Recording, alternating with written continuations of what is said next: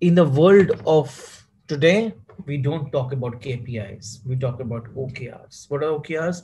OKRs are objectives and key results. And these OKRs need to be balanced.